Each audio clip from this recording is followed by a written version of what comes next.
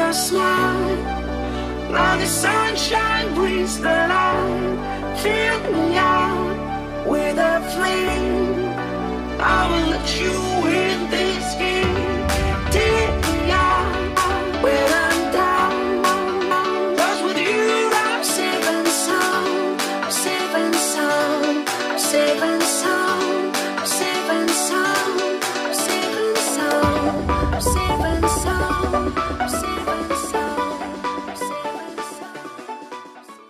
tanamannya sudah penuh sesak, potnya sudah penuh, waktunya untuk repotting. Assalamualaikum warahmatullahi wabarakatuh. Salam jumpa lagi saya tentunya di channel Budi Erwin. Nah kali ini Budi ucapkan terima kasih ya kalian sudah nonton dan klik klik klik video Bude. Dan Budi ucapkan juga semoga senantiasa kalian sehat walafiat dan sejahtera selalu. Amin. Nah, Bude kali ini, nih Bude memiliki tanaman apa ini? Kalian tentu tahu ya, ini tanaman tanaman apa ya? Nah, ini adalah sejenis tanaman Sansevieria. Tanaman Sansevieria ini adalah silver ya, ini yang silver. Ini jenis yang langka ya. Nah, Langka, jarang didapati. Biasanya yang paling banyak itu yang lidah mertua, yang pedang-pedangan, yang warnanya hijau kuning panjang ya. Kali ini Bude memiliki yang warnanya silver. Nah, ini sudah penuh ini, potnya ini sudah sesak loh. Sudah sesak, ini sudah waktunya untuk di repotting atau dibelah, split ya, untuk diperbanyak.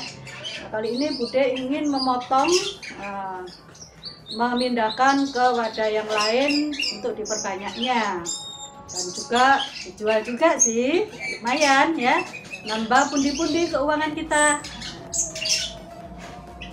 Oke ini Bude sudah siapkan pot dua kecil-kecil.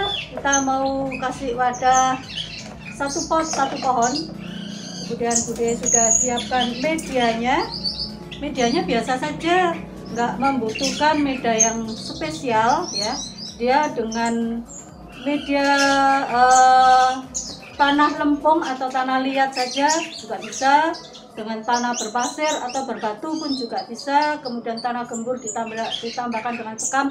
Oke karena dia memiliki akar yang besar seperti lengkuas kemudian memiliki akar-akar serabut yang kecil-kecil tapi dia berkayu kuat sekali.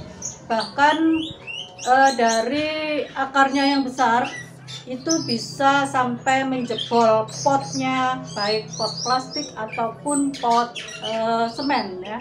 Kuat sekali akarnya. Dan ini tanamannya tahan banting ya. Tahan banting maksudnya kuat sekali ya. Dalam kondisi eh, kering pun dia juga bertahan untuk hidup. Karena daunnya dan batang-batangnya atau akar-akarnya atau bonggolnya itu sudah banyak mengandung air jadinya dia kuat sekali. Untuk penyiraman satu minggu sekali pun juga nggak masalah ya. Penyiraman satu minggu sekali nggak masalah. Tiap hari pun asal tanahnya poros pun juga oke gitu ya. Oke bantu budaya untuk merepotting atau membelah daripada tanaman ini. Dan jangan lupa bantu saya dapat subscribe-nya. Oke terima kasih. Kita harus membongkar eh, membongkar potnya dulu.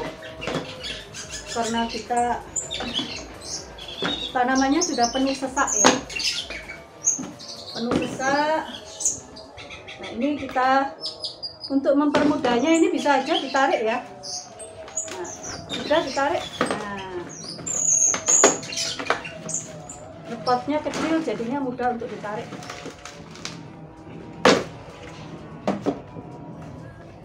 ini Bude menggunakan tanah liat. Tanah liat dengan sedikit sekam. Sekamnya sedikit.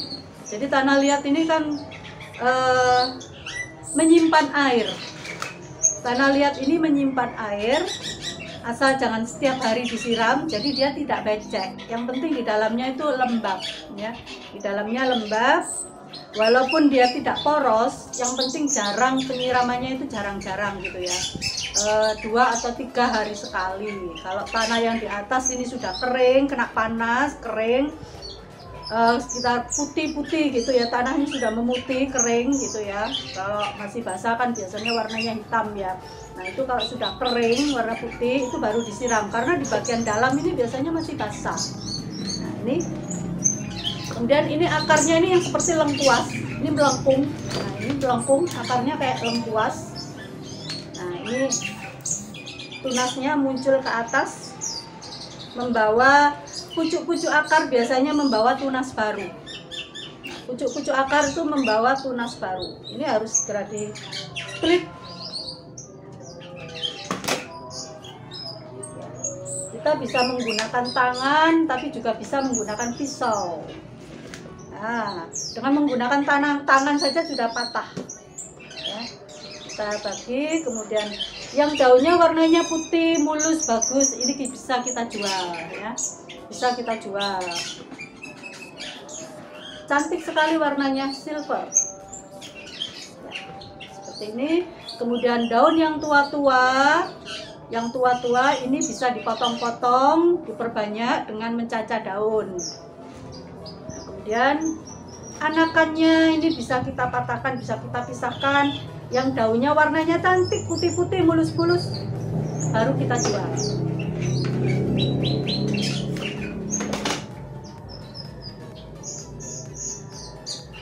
Ini nah ini yang daunnya putih-putih mulus-mulus cantik-cantik ya.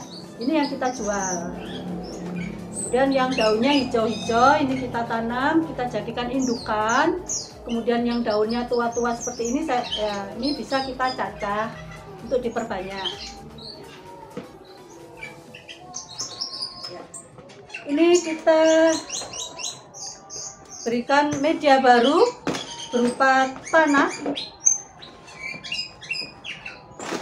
media barunya kita campur dengan sekam tapi biasanya kalau sudah lama sekamnya itu menjadi lapuk menyatu dengan tanahnya jadi kadang-kadang uh, sekamnya itu sudah hilang, rapuh.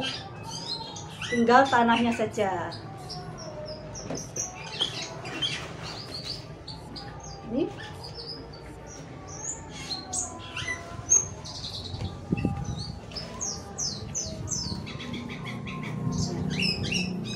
satu pot kita berikan satu pohon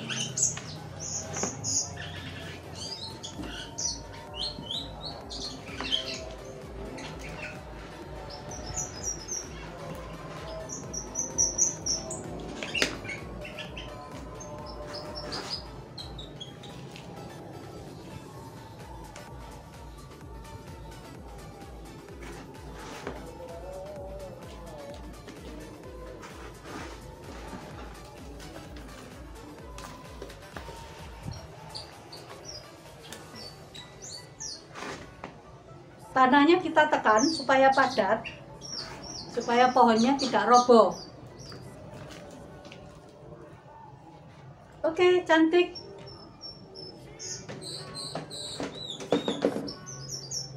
Kemudian satunya lagi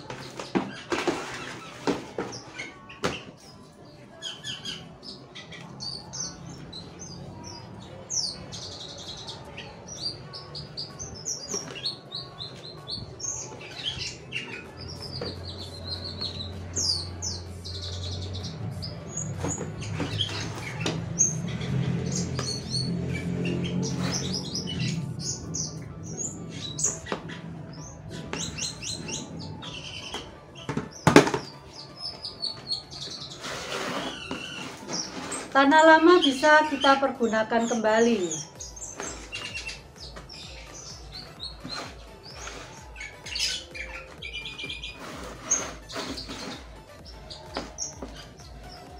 Oke, cantik sekali.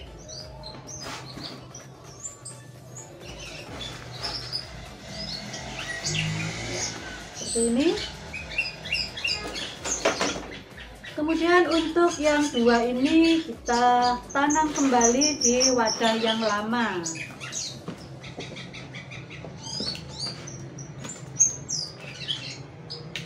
Kita bisa tambahkan dengan ini ini sudah padat ya. Sudah padat sudah lengket kemudian kita bisa tambahkan dengan sekam mentah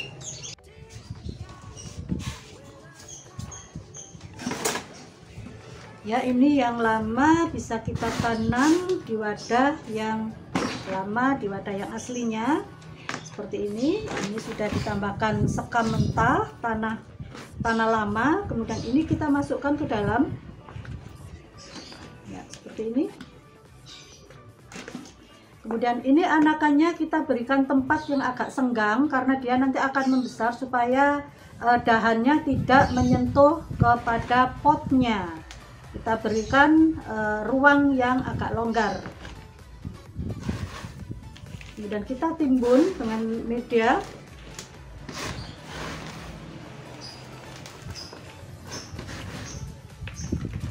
Ya, seperti ini kita habiskan semua media tanahnya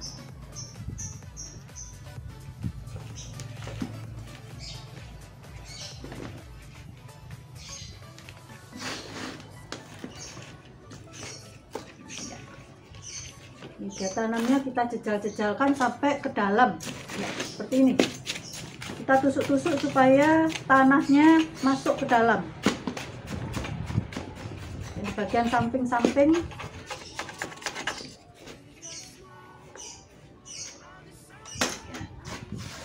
Supaya tidak ada rongga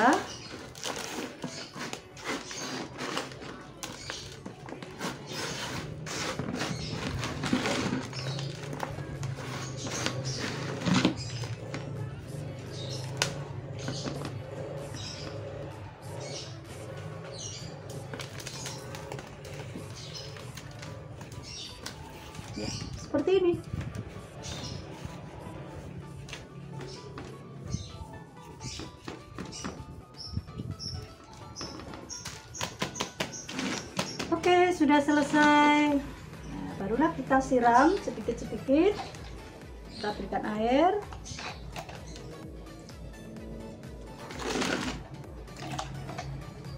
Kita bisa tempatkan dia di panas matahari full ataupun di tempat yang teduh. Karena kalau di tempat panas matahari dia sering disiram tapi kalau di tempat yang teduh kita jarang-jarang menyiramnya